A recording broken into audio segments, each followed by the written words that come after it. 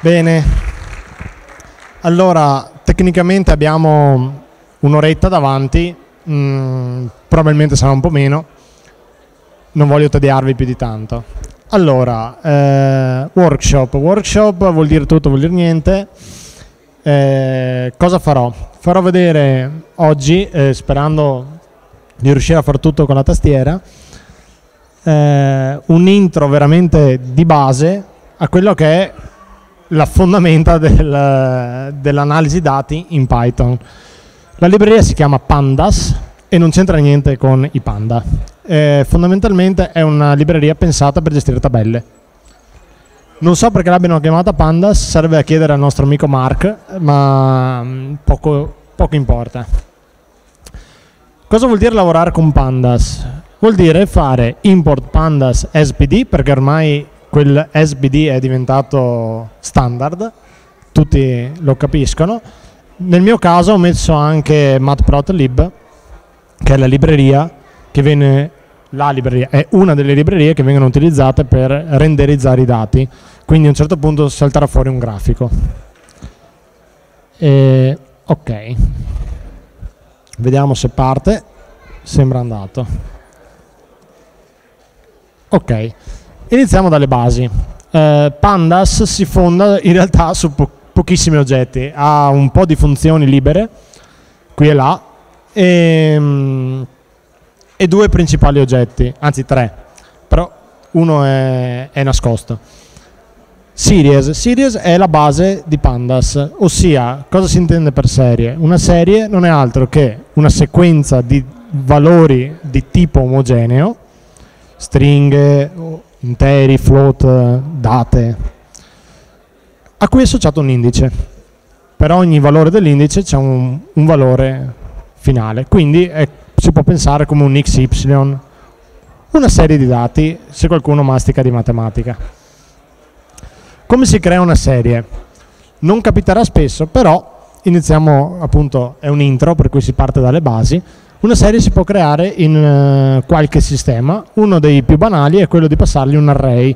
Allora in, in, realtà non è un array, se volessimo essere precisi a livello di Python, quella è una lista. Quelle parentesi grafe lì, per chi non sa nulla di Python, rappresentano una lista. Una lista di quattro elementi i cui valori sono quelli indicati. Uh, io sto utilizzando un programma eh, Jupyter Notebook che esegue direttamente quello che vedete in tempo reale. Per mostrare i dati ho dovuto riscrivere la variabile sotto, è per quello che ci sono due righe e basta. Ecco, questa è la renderizzazione grafica di una serie, ossia i valori, quindi quando io passo, passo i valori, il tipo, lui ha visto che c'è una virgola per cui lo fa diventare in virgola mobile, questo è un indice di default che non è altro che un range che va da 0 al, alla lunghezza del, della serie. Ovviamente la nostra serie che io ho chiamato data ha dei metodi. Questo ti ritorna solo i valori. Questo ritorna solo l'indice. Questi range index ne esistono di vari tipi in questo caso questo è quello di default, quando voi passate una lista di valori vengono automaticamente appiccicato un range index, quindi da 0 a 4 a step di 1. All cosa fa questo, questa cosa qui? Tira fuori il valore alla posizione 1. La posizione 0 ovviamente era al 0,25 e la posizione 1 è 0,5. Quindi rispecchia alla perfezione il modo Pythonic di cercare i dati all'interno di un array, o meglio di una sequenza se vogliamo essere precisi. Quindi funzionano anche tutti gli slicing di Python. Cosa ho scritto qua? Per chi non conosce Python ho scritto dammi i dati dalla posizione 1 alla posizione 3, 3 escluso. E quindi in questo caso mi ha dato anche l'indice assieme perché ho chiesto un range della, della serie. Un range della serie è una, è una serie a sua volta. Ora, andiamo a dare un piccolo approfondimento a quelli che sono gli indici che torneranno utili nella seconda parte del, del workshop. In questo caso ho preso i dati di prima, quindi i valori, i value di prima e ho esplicitamente detto alla, al costruttore di series di utilizzare quell'indice. Ora per chi non conosce Python questo è un modo carino per dire crea una lista con i valori A, B, C, D separati, quindi in realtà quella è una lista lunga 4 elementi. Ora che gli abbiamo specificato l'indice, qui non va più a mettere i numeri del range, ma va a utilizzare quello che abbiamo chiesto noi. Il dtype ci indica sempre il tipo del valore, non dell'indice. Avendo cambiato l'indice, quella scrittura che abbiamo visto prima, data 1, non, non è più valida perché quell'1 rappresentava il valore all'interno dell'indice B rappresenta adesso un valore all'interno dell'indice che è di tipo stringa e il risultato ovviamente è quello atteso. Come costruiamo queste series? Beh, ci sono un bel po' di modi, ci possono, eh, quelle più banali di tutte, è la series costruita su un unico valore e ovviamente crea una series da un valore. Non serve dichiararla come lista. L'indice sì però. Questo è per eh, qualcuno che magari smanetta un po' di più in Python, una cosa interessante, crea una serie partendo da una stringa. Questo esempio ovviamente non ha senso, ha senso nel momento in cui vi serve per spiegarvi che qualsiasi cosa che sia iterabile può diventare una serie. Iterabile, per chi conosce Python, ha un significato ben preciso, quindi una sequenza. Uno dei modi più usati per creare le series, quando si devono fare piccole series, è questo qua. Questo mette indice e valore assieme. L'importante è che siano omogenei nei tipi. In questo caso le parentesi grafe dichiarano un dictionary, una mappa, chiamiamola, che associa al, a, al carattere A il valore 1, B, eccetera, eccetera, e lui lo crea e lo ritrasforma sempre nella series. Ok, qui forse chi non conosce Python può, può perdersi un po'. Ho messo i commenti per definire quali sono i valori. Fondamentalmente ho creato un dizionario in cui per ogni valore 0, 1, 2 è associato il suo quadrato, quadrato numerico, e l'indice è un indice che va da 0 a 10 a step di 2, quindi è un indice che fa solo i numeri pari, 0, 2, 4, e 6 e 8. La cosa interessante qual è? Che l'indice fa da filtro. Cioè io sopra ho una, ho una serie, ho un valore, un dizionario con 10 eh, valori, ma la serie ne ha solo 5 che sono quelli dell'indice. L'indice ha filtrato i valori, quindi vince l'indice in questo caso.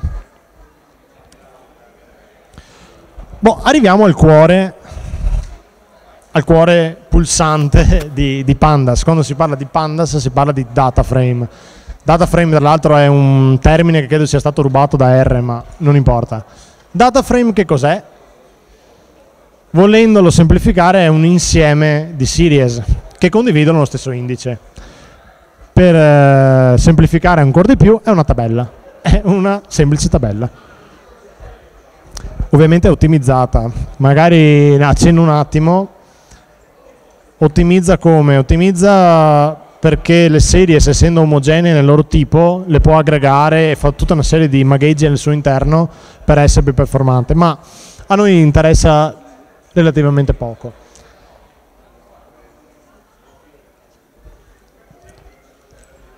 Qui vedremo nella prima parte un eh, data frame di esempio che ho creato andando su Wikipedia e cercando questi valori che vedete qua.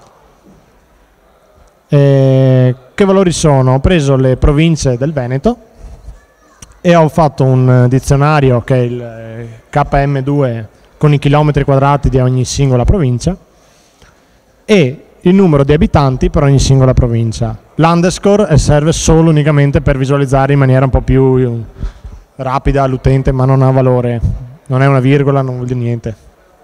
Quindi Padova è 210.993 abitanti. Questi sono i dati di partenza. Eh, eseguo per eh, registrarli nel notebook e creo il data frame. Ora, metodo, un metodo molto comodo per creare un data frame è quello di utilizzare, anche questa volta, un dizionario o una mappa se qualcuno arriva da qualche altro linguaggio. Come vedete, non faccio altro che dire, la, um, il dizionario, che era, volendo diventa una serie, ma lo fa giù lui in automatico al suo interno, degli abitanti lo chiami abitanti, quello dei chilometri quadrati lo chiami KM2. E voilà, questo è come si presenta un data frame e come per la maggior parte del tempo lavorerete con Pandas. Quindi le colonne sono delle series il cui indice è comune. L'indice in questo caso, come avrete intuito, sono i nomi delle province. E questo ce lo garantisce. Uh, il dtype object sta per uh, leggetro string tutto quello che non è numeri diventa object. Le colonne, giusto per eh, avere, questo può tornare utile per qualche ciclo, for, per qualche libreria se dovete fare qualche cosa in automatico, sapere quali sono i nomi delle colonne. P prime funzioni, le prime che si vedono quando si affronta un data frame di pandas, head, head è come il comando Unix, mostra le prime due righe, Info invece è già più interessante. Questo vi può tornare utile quando caricate eh, dei dati che non conoscete bene. Ti dice intanto che è un data frame, voi dite beh è normale, non è più avanti si va, poi si potrebbe essere una classe diversa, comunque va bene, è un data frame, ha sette righe di indice, da Padova a Belluno, in questo caso ha poco senso, due colonne, non null, int e float. Non null perché potrebbero anche avere dei valori vuoti all'interno. Uso di memoria, come potete vedere, irrisorio. Questo invece è un comando che già di per sé potrebbe farvi utilizzare pandas in qualche programma anche solo per avere questa cosa qua. Describe non fa altro che darvi quello che sono le statistiche di base che tutti prima o poi guardiamo in un dato dal conteggio alla media, alla deviazione standard, minimo, massimo e percentili. Comodissimo, comodissimo. Quindi questo spesso delle, delle, volte a me capita di caricare un Excel solo per avere questi al volo senza dover diventare matto a, stare a, lavorare sul uh, spreadsheet. Ovviamente anche questo, essendo una tabella, è indicizzabile, cioè ci posso cercare dat i dati, come funziona. È, è intuitivo sì e no, nel senso che essendo una tabella orientata alle colonne, l'indice che io passo, cioè il valore KM2, sta a indicare la colonna che mi interessa e lui ti darà una series con l'indice, ovviamente, e i valori di quella colonna. La cosa interessante è che se io passo una lista a questo mm, data frame, lui ti dà un subset di colonne. Ora io in questo esempio minimale ho solo due colonne, però avessi avuto 50 colonne, volevo vedere solo quelle due, facevo questo ed era a posto, filtrato per colonna, istantaneo. Ora andiamo un po' sui dettagli tecnici, ehm, però questo torna utile perché è stato per esempio la, una, prime, una, delle prime cose che quando ho affrontato Pandas eh, mi sono chiesto, eh, ma ok, bello, ho le colonne, ma se voglio una riga? Per la riga c'è un comando che sta a indicare locate fondamentalmente, è lock, questo ti dà la riga, la riga in cui l'indice sono le colonne e i valori i valori. Quindi questo è un, già un po' più um, meno intuitivo.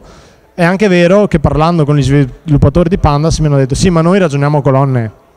Cioè, ragionare a righe non, non è lo scopo di Pandas, però te lo fanno fare ovviamente. eh, i lock,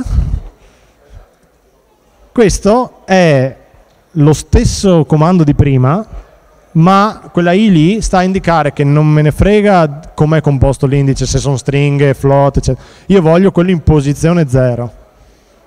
E questo è il comando. Quando avete capito colonne, indice normale e indice posizionale, con Pandas avete finito, potete già fare quello che volete. Per esempio potete selezionare una colonna e chiedere la riga, oppure potete avere so, una funzione, uno script che vi dà che righe vi interessano, che colonne vi interessano e con la sintassi che abbiamo visto prima ottengo quella porzione di tabella. Oppure iniziamo a fare quello che accennavo prima, se mi avete seguito sul talk precedente, che è la vettorializzazione. Sono riuscito a dirlo. Qui è scritto in maniera talmente leggibile che quasi non vorrei commentarlo, nel senso che del mio data frame che rappresenta le province del Veneto voglio gli abitanti, le province con gli abitanti maggiori di 100.000. Ah, booleani. Vabbè, sembra una, una castronata, però in realtà per chi lavora in informatica sa benissimo che un maggiore ritorna un booleano. Interessante. Lo posso fare, però anche questo. Cosa vuol dire? Quel molti abitanti è una serie ed è una lista di boolean, quindi fondamentalmente è una maschera. Io quella maschera lì la posso usare per filtrarmi i dati. Quindi posso dirmi, vabbè, delle province del Veneto con molti abitanti, mi dai i chilometri quadrati? Sì, eccole qua. Quel zen lì è il zen di Python, lasciamo stare per adesso, non conta. Boh, eh, quelle molto estese, quindi che questa è la, la sintassi di prima, solo applicata ai chilometri. Ok, qui ho il prospetto, ho la maschera. Voilà, questa secondo me è una di quelle cose che vi potrebbe far innamorare di Pandas. In realtà esiste anche NumPy, però va, va bene per Pandas. Delle province del Veneto voglio quelle che hanno molti abitanti e sono molto estese. Grazie. Eccolo qua. Questo in quanto leggibilità credo sia un, uh, un valore enorme perché nel momento in cui si riescono a individuare tutti i filtri e tutte le, le operazioni da fare può veramente tornare molto utile avere una sintassi così asciutta. Beh, non contenti, adesso che abbiamo gli abitanti e abbiamo i chilometri, si possono anche creare serie nuove, dati derivati. Se io faccio come prima ho fatto maggiore di 100.000, posso anche chiedere, bene, a parità di indice questo è il punto di chiave. A parità di indice, prendimi gli abitanti, prendimi la, i chilometri e fai questa divisione, che è la densità. Io non sono uno statistico, per cui non garantisco che sia la de definizione di densità, però lasciatemi questo, questo dubbio. Questo eh, nuovo risultato, questa densità, è un, eh, una series a sé stante è sganciata dal data frame e tra l'altro vabbè la arrotondo perché così è un po' più, è un po più comoda da leggere e la metto all'interno del data frame questa è un'altra peculiarità di, di Python e di data frame che gli dici beh questa densità che non esiste come colonna gli appiccichi questa serie questo ovviamente è bello, si può fare perché? perché l'indice è lo stesso. Quindi a parità di indice si può fare questa aggiunta.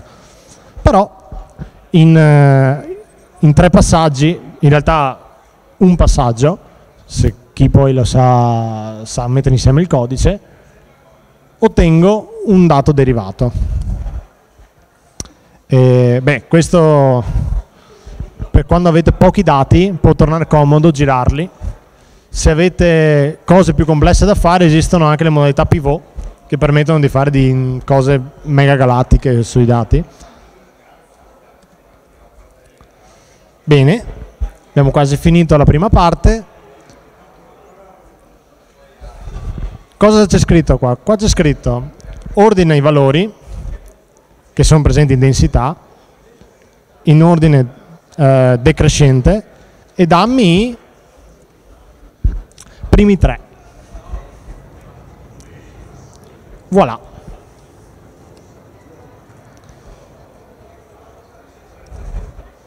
Ora, se volessi fare qualche statistica solo su quella colonna, describe funziona comunque e anche round ovviamente.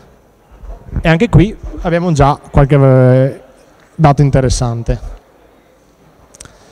Per concludere,